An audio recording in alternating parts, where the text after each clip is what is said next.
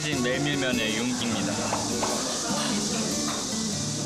음식 사진 맛있게 찍는 방법. 제가 지금 캠으로 찍었지만 이 저는 이 정방향 저 제가 있던 이 네모 안에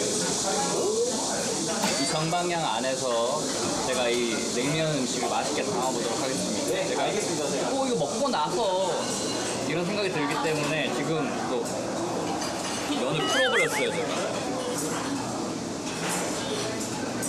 이거 일단 제가 약간 중간에 찍어서 이런데 아까 전에 이렇게 음식이 최대한 이 네모 정방향 안에 꽉 차게 찍는 감성.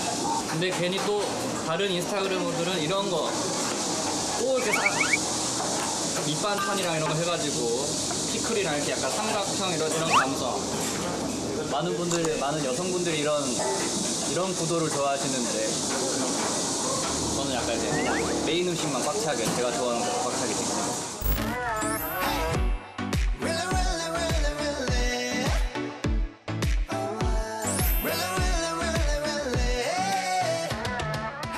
일단 먹어보도록 하겠습니다.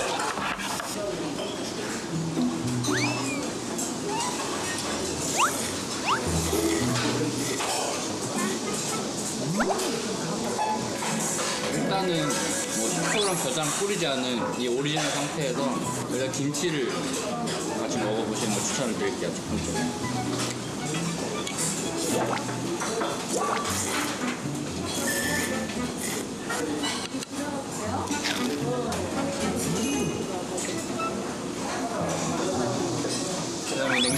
고기랑도 한번 싸드셔보시고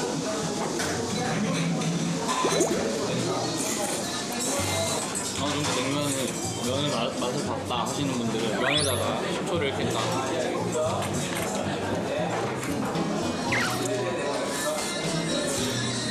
이게 면이 메밀면이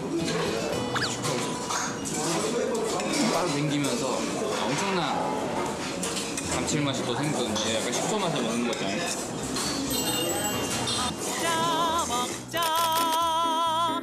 먹자 먹자. 먹자 먹자 허겁지겁 먹으면 어때요? 단짠 단짠 고칼로리. 먹자. 사진 찍어보도록 하겠습니다.